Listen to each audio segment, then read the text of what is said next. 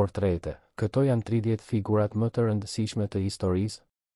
Falë mendimit, krijimeve apo ideve të tyre, njerëzimi që njohim sot është, në një masë të madhe, rezultat i kontributeve të këtyre personazheve historike. Historia është plot me personazhe që kanë transformuar historinë e njerëzimit. Sot bota është ajo që është falë mendimeve, ideve apo veprimeve të tyre. Bota, al sjell një listë me tridhjetë figurat më të rëndësishme historike. Natyrisht që përzgjedhja është e paplotë, pasi mund të zgjidhen kollaj dhjetëra heronj, shkrimtarë, filozofë dhe shkencëtarë për çdo vend. Lista nuk sillet rreth njerëzve të famshëm për etikën e tyre, por më tepër rreth pasojave që kanë shkaktuar idetë ose veprimet e tyre, ndërsa shumë prej tyre kanë ndryshuar gjërat për mirë, të tjerët nuk kanë bërë gjë tjetër veçse kanë mbjellë errësirë. Renditja nuk është sipas rëndësisë. Jezusi i Nazaretit. Një figurë e shquar e krishtërimit, Jezusi i Nazaretit ishte një predikues hebre që jetoi rreth shekullit të një pas Krishtit. Ndarja e tij e madhe me hebraizmin sot bashkon më shumë se dy, katër miliardë besimtarë dhe mendimi i tij ka qenë në qendër të fokusit së teologëve për dy mijëvjeçarë. Jezusi lindi në Betlehem të Judesë dhe, sipas traditës, ishte pasardhës i mbretit David. Muhamedi. Për fenë islame, Muhamedi është i fundit ndër profetët, i cili paraprihet nga Jezusi, Moisiu dhe Ibrahimi, ndër të tjerë.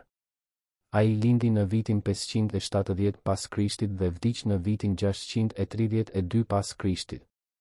Sipas traditës, profeti themeloi Islamin pas një zbulese nga kryengjëlli Gabriel në shpellën Hira. Sot ka më shumë se një shtatë miliardë muslimanë në mbarë botën. Kristofor Kolombi Lundërtari dhe hartografi në shërbim të kurorës së Kastiljes ishte përgjegjës për udhëheqjen e eksplorimit që do të çonte në zbulimin e Amerikës. Epoka moderne dhe bashkë me të edhe globalizimi filloi më dymbëdhjetë tetor një mijë e katërqind e nëntëdhjetë e dy, kur ata zbarkuan në ishullin Guanahani, Bahamat e sotme. Kolombi bëri gjithsej katër udhëtime para se të vdiste më njëzet maj një mijë e pesëqind e gjashtë. Jul Cezari Gaius Julius Caesar ishte një nga politikanët dhe ushtarët më të rëndësishëm të Romës së lashtë. Ai lindi në vitin njëqind para Krishtit dhe vdiq në vitin dyzet e katër para Krishtit. Kontrolli i tij mbi Republikën ishte i mbushur me polemika dhe tradhëti. Një nga sukseset e tij më të mëdha ishte Lufta Galike, e cila do të zgjeronte territorin romak në pjesë të asaj që sot është Franca, Belgjika, Zvicra, Gjermania dhe Holanda. Një komplot i përgatitur nga disa senatorë i dha fund jetës së tij. Aleksandri i Madh Aleksandri i Madh ishte mbret i Maqedonisë deri kur vdiq. Aristoteli ishte mësuesi që u mor me edukimin e tij dhe mbretërimi i Aleksandrit konsiderohet nga historianët si fillimi i periudhës helenistike. Ai lindi në korrik të vitit treqind e pesëdhjetë e gjashtë para Krishtit dhe vdiq në qershor treqind e njëzet e tre para Krishtit, ndoshta i helmuar. Aleksandri i Madh është një nga figurat heroike më të rëndësishme të lashtësisë. Platoni Platoni është një nga filozofët më të rëndësishëm në historinë e filozofisë. Dishepull i Sokratit dhe mësues i Aristotelit, idetë e tij mbi politikën, etikën, qytetarinë, ligjin dhe psikologjinë, ndër të tjera, ndihmuan në konsolidimin e mendimit të qytetërimit perëndimor. Ai themeloi Akademinë në treqind e tetëdhjetë e shtatë para Krishtit, e konsideruar si universiteti i parë në Perëndim. Lao Tzu Pavarësisht nga të panjohurat rreth jetës së tij, Lao Tzu është një nga figurat më të rëndësishme historike të lindjes. Besohet se ai ka jetuar midis shekujve VI dhe VII para Krishtit. Dhe atij i njihet autorësia e Tao Te Ching, vepra më e rëndësishme e taoizmit. Filozofia taoiste praktikohet në Kinë, Japoni dhe Korenë e Jugut, edhe pse ka miliona ndjekës në mbarë botën.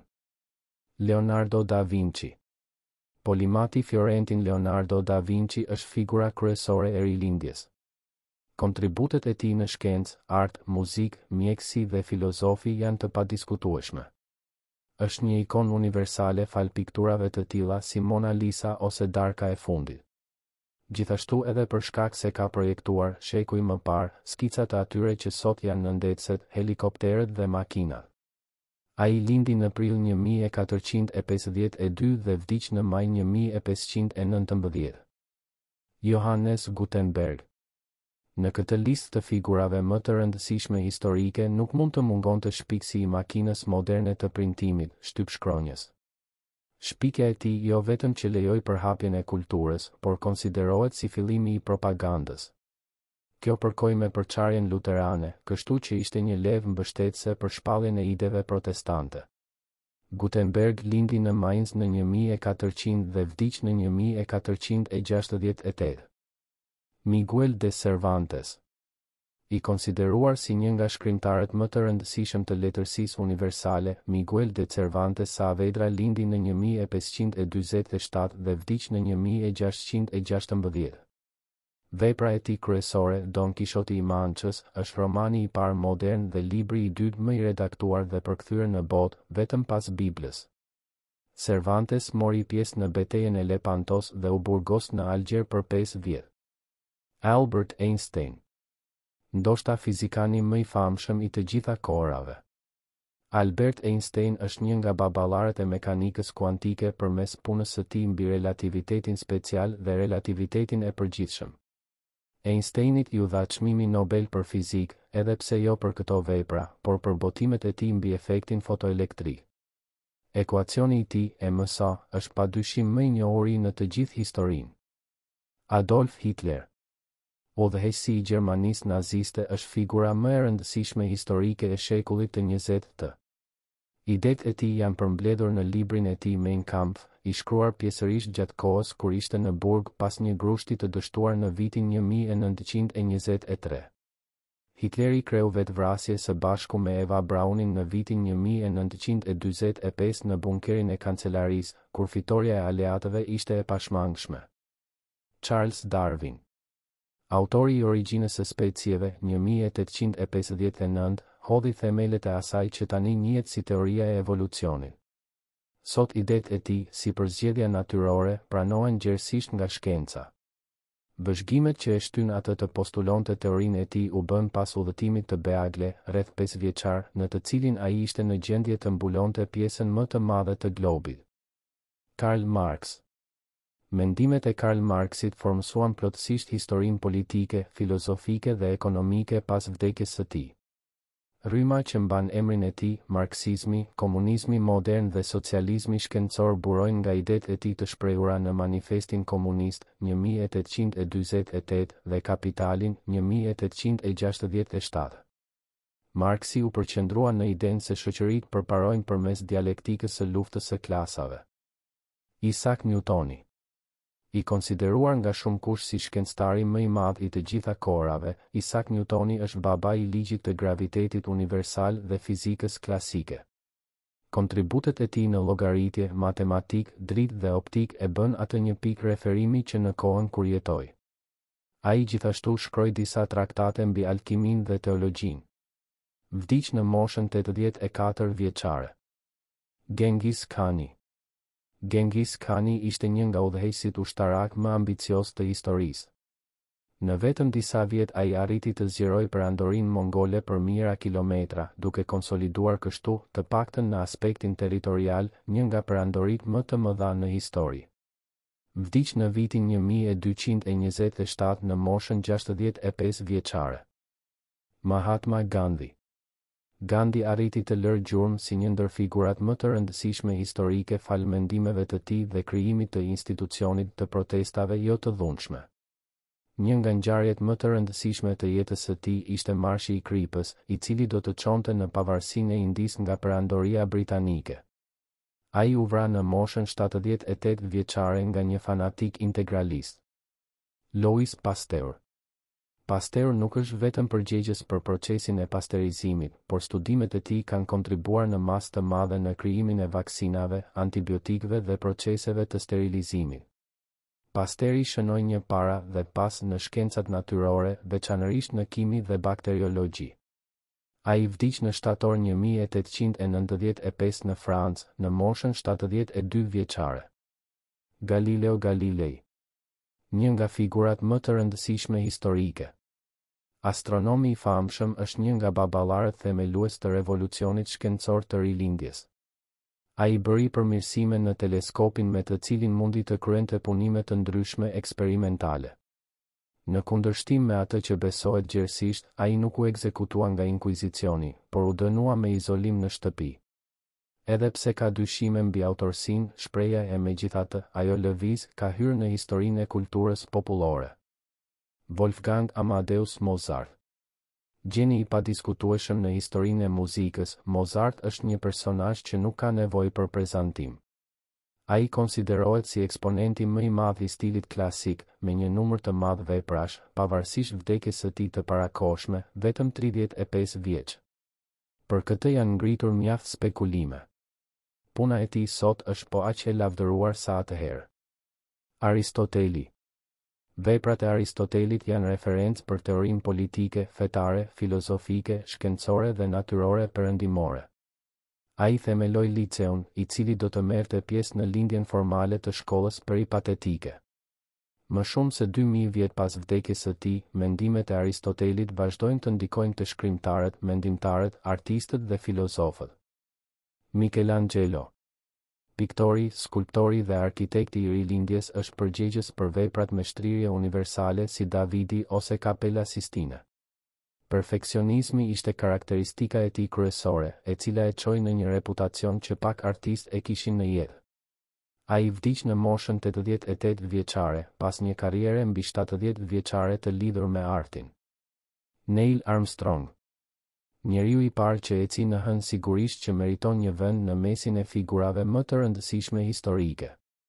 Në korrik një mijë e nëntëqind e gjashtëdhjetë e nëntë, miliona shikues në mbarë botën dëgjuan frazën legjendare, një hap i vogël për njeriun, një kërcim gjigant për njerëzimin. Sot, në agimin e eksplorimit të Marsit, këto fjalë jehojnë më shumë se kurrë. Sigmund Freud. Ndër figurat më të rëndësishme historike. Babai i psikanalizës është një nga figurat intelektuale të shekullit të njëzetë të. Ashtu si figurat e tjera të kësaj liste, jeta dhe kontributet e tij nuk janë pa polemika. Sot disa nga idetë e tij, si kompleksi i Edipit, janë të njohura për një pjesë të madhe të njerëzimit.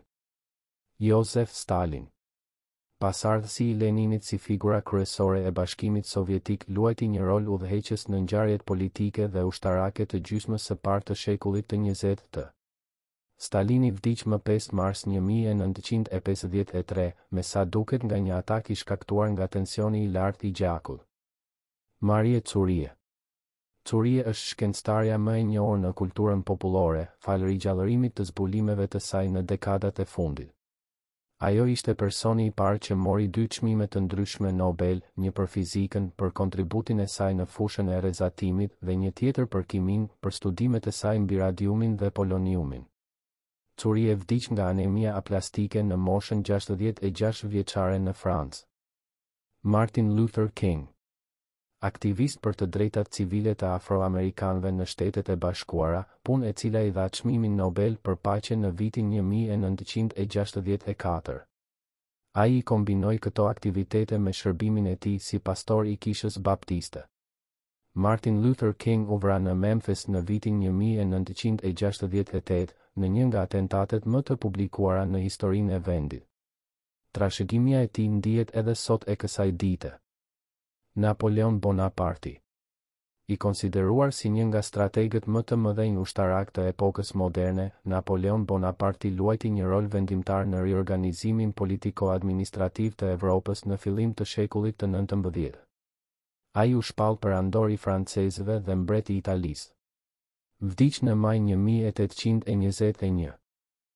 Martin Luteri Së bashku me Kalvinin, Luteri është figura më përfaqësuese e Reformacionit protestant dhe nuk mund të mungonte në asnjë listë të figurave më të rëndësishme historike.